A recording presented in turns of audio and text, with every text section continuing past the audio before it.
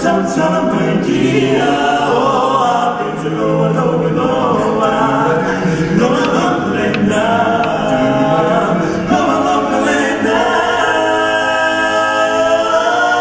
There's plenty of fish the sea, there's plenty of woods. There's also plenty of birds flying through the sky. But the only one that I've ever adored is a girl from Samoa.